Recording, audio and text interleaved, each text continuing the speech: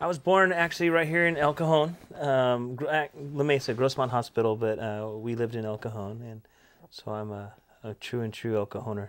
Yeah, well, growing up in my neighborhood was was real nice. You know, I look back with with a, a sense of fondness in it. Um, it kind of does set the tone for where you want to live. You know, um, there was a real sense of family in that neighborhood. Um, you know, from you know the Guthries to the Lumas to the Carmens. You know, I mean, I can just keep going. It's everybody knew everybody. Uh, there was really never any strangers in the neighborhood. It was uh, it was real nice. It was peaceful. Um, I, I, can totally see what the CDC is trying to do with what here on Millar. You know, when I envisioned buying a a house and raising my kids uh, and all that. I didn't really expect to be doing that in a in a tough neighborhood. Uh, you know, if you asked me a year ago if I was ready to move, I probably would have said I, am ready to move. You know, it's uh, I got to get out of here somehow. I got to find a way to get out of here. But over the last year, it's been um, it's been a little different. You know, it's uh, it's felt it's felt a lot a lot better. I'm really happy with uh, the fact that CDC uh, was actually able to show people a little bit of what they're capable of. It's almost like uh, it's just almost like they uh, they kind of nudged rather than shoved or or or sh- just kind of led by example. Even coming together is a little bit um, new for us. You know, we uh, the the we had that uh, block party, which was really cool.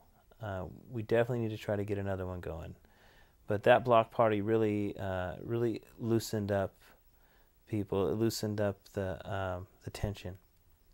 I got to see how nice um, uh, some of my neighbors' kids were. I, I was un, I, amazed. Rogelio's children are some of the most polite young men I've I've ever met. I was I was just blown away by it. I, I have a I have a two and a half year old that was trying to play ball with the twelve and thirteen year olds and and they kept giving him a turn. You know, to the when I remember when I was a kid, they would have been like, "Listen, kid, it's time for you to scram," you know, and uh, and they just uh, they had a sea of patience, and um, and I just it, it reflected on Rogelio to me.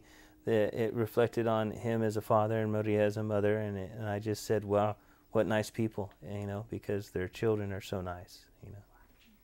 The mural is an amazing an amazing thing because it's still pure. Um, how do you paint that much fence and it stands through? I, I imagine, oh, great, they're putting this fence up and it's going to be so sad the first time someone tags it. You know, and that was what, how long ago? so um, I think it's a testament to uh, to how even someone ready to make uh, put their name and say, hey, "Look how cool I am," stops and says, "I don't think I want to paint on that fence." And so, um, so I'm really glad, you know, that the CDC came through and and started the ball rolling. Yeah, our neighborhood organization is is like just developing right now, and um, I think there's a little bit of the same uneasiness that there was in beginning of Lend a Hand where we're not sure what we're going to be able to accomplish. We're not sure what we're going to do. But the funny part is is that we're all showing up to do it, you know?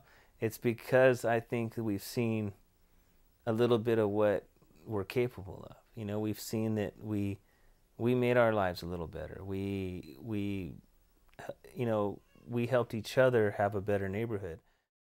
From Daryl's house to Rogelio and Maria's house, we you know, you, it just uh, all the way down the street everybody's house looks a little better a little nicer and then it seems uh, it seems like all these people are still willing to do more and that they want it to be a little better. They want it to be um, they want it to be a nice neighborhood and they realize that it really is up to us yeah, to, to try to reach out and influence it. Um, you know instantly at the last meeting uh, everybody was all about, yeah, I, I can throw in a little bit of money. Let's board up that house that um, that's becoming a hotel for transients, you know. And that was something that people were just instantly ready to jump into. Why? Because we have children. You know, we don't want strangers that have nothing to lose camping out two doors down from our house. You know, and so who would actually do that? Who would take care of that? Who would you go to? Well, um,